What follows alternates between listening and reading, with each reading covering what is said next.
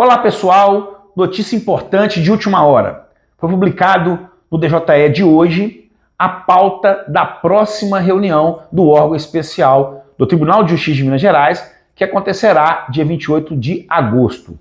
Entre essas pautas está a homologação do concurso para servidores do tribunal, regido pelo edital 01/22.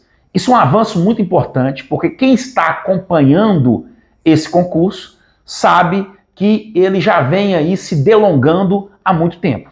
Ele foi objeto de dois PCAs no CNJ e ele quase esteve para ser anulado nas várias reuniões que foram realizadas entre o tribunal, a comissão de aprovados e os sindicatos.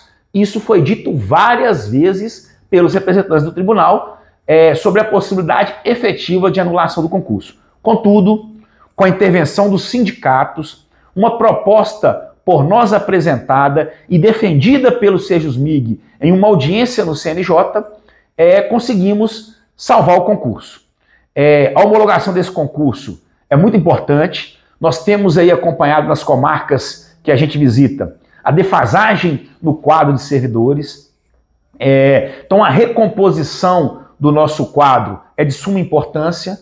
E, além disso, né, é, os aprovados no concurso estão com uma expectativa enorme. Né? Já são mais de dois anos na espera pela finalização do certame. Então é isso. Está marcada a deliberação sobre a homologação. Ainda essa semana nós vamos atuar aí junto ao tribunal para garantir essa efetiva homologação. E se Deus quiser, dia 28 a gente vai voltar com uma boa notícia para todos. Até lá!